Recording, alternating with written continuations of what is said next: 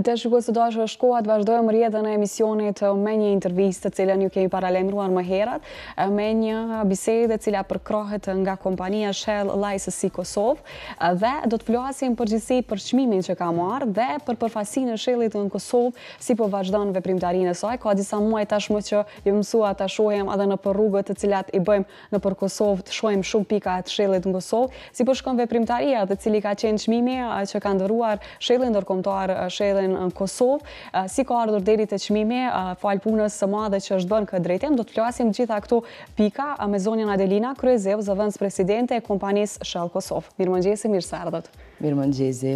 Faleminderit që jeni këtu. Atëherë uh, kishim nisë ndoshta si uh, si e sollët Shellin në Kosovë. E dimë që posa e kanë parë të gjithë uh, ka qenë ndoshta ajo uh, t'i themi një shpresë uh, duke ditur që janë hapur shumë vende të punës më tutje, është zgjeruar uh, si uh, kompani. Na tregoni pak uh, detajet e para, më pastaj do të kalojmë edhe tek çmimi që keni marrë uh, si uh, së fundi që është heroi uh, i misionit. Do të thotë për Shellin Kosovë një çmim mjaft domethënës falë punës që është bërë intenzive gjatë kësaj kohe, apo jo? Përshëndetje, ju faleminderit për ftesën. Fillimisht një histori e shkurtër rreth themelimit të kompanisë Al Petrol me president zotni Latif Kryeziu, ku në vitin 1988 hapi pompën e parë private në Kosovë. Gjatë mhm. viteve zgjeroi veprimtarinë e tij me shumë mund dhe sakrifica. ku kompania Al Petrol ishte lider në tregun kosovar dhe më gjerë. Pa dyshim që mhm. edhe marrëveshja me Shell është meritë e vetë presidentit, familjes dhe gjithë stafit menaxhues që u angazhua që të pamundurën ta bëjnë të mundur, duke ditur që Shell është lider botëror në lëminë e derivateve dhe është prezent në 82 shtete me mbi 44 mijë pika të shitjes dhe dikun rreth 30 milion konsumatorë në ditë. Bisedimet kanë zgjatur me muaj.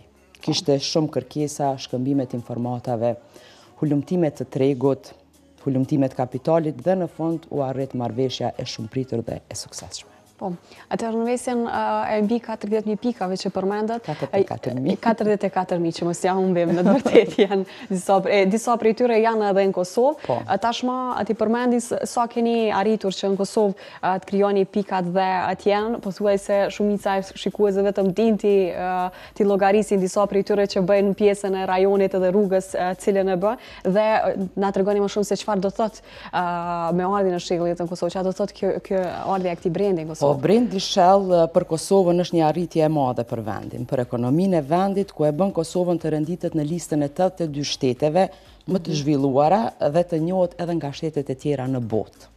Po, Do thotë kjo pikërisht është pasi që është kthyer vëmendja edhe kah Kosova me ardhjen. Por përmendim pak çmimin, meqë kemi edhe titullin dhe temën kryesore që tashmë vetëm keni marrë çmimin heroi i misionit, në samitin e licensuesve pra në Mynih që është organizuar nga Shell. Na trego pak si ka qenë pjesëmarrja juaj atje, si ka shkuar në tërësi gjithë ai t'i themi organizim. Çmimin që Shell e ndau për ne në samitin e licencuesve në Mynih është për rezultatet më të shpejta të arritura në historinë e Shell. Mhm. Kontrata është nënshkruar diku me 23 janar. Brendimi i pikave ka filluar në muajin prill dhe deri më sot i kemi gjithsej 35 pika të brenduara. Mhm. Çmimi është dhënë gjithashtu edhe për cilësinë e produkteve të Shell, që janë teknologjia e fundit e kërkimeve të Shell-it. Rrjetit të marketeve Daily by Shell, ku ka shumë oferta, rang të gjerë të produkteve, ushqimeve të freskëta, të shpejta, të ngrohta, dhe kështu. Mhm. Po, gjitha tashmë vetëm konsumatorët i kanë parë. Sa është e rëndësishme brendi Shell për ekonominë dhe konsumatorët e Kosovës? Brendi Shell do të thotë shumë për ekonominë e Kosovës, sepse lirisht mund të mburremi si shtet me praninë e një brendi të tillë gjigant global, ku mhm. konsumatorët nuk kanë nevojë për brenga në furnizim me derivate cilësore, lubrifikante dhe autokozmetikë. Shell garanton dhe njihet për cilësi.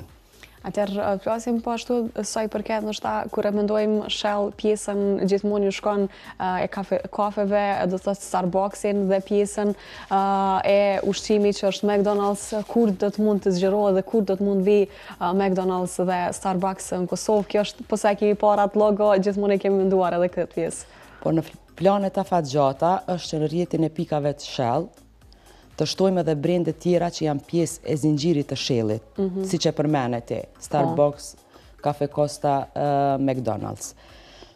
Nuk du ma shumë t'i zbuloj planet, mhm. do të sjellim në vazhdim surpriza për gjithë konsumatorët. Po, mbetet me punë. e gjitha tregohet. Atëherë cila kish me qenë edhe porosia për gjithë konsumatorët sa i përket kësaj pjese meqë tashmë edhe jeni zgjeruar të themi ka mbetur edhe disa pika të Al Petrolit të shndërrohen në Shell siç e përmende por cila është ajo porosi që e kishe përcjellë gjithëve?